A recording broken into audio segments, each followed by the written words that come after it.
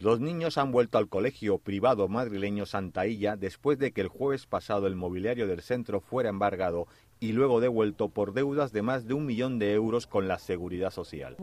La reapertura del centro se produce tras el acuerdo entre la ministra de Empleo y Seguridad Social, Fátima Báñez, y la consejera de Educación madrileña, Lucía Figar, de permitir que el centro continúe con sus actividades hasta final del curso.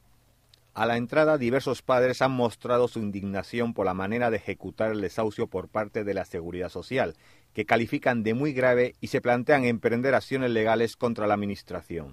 Hombre, evidentemente contra quien ha ocurrido, quien, el que ha producido el daño, que es la Seguridad Social, es decir, la Administración que ha entrado de esta manera. La Administración ha, cometido, bajo mi punto de vista, una equivocación muy grave el jueves, pero luego el viernes eh, la ha sabido corregir. Entonces pues, dicen que rectificar es de sabios. ¿Qué ocurre? Que ahora, pues, eh, con independencia de esa rectificación, nosotros entendemos que, los derechos de los menores se han vulnerado y hay que reponerlos.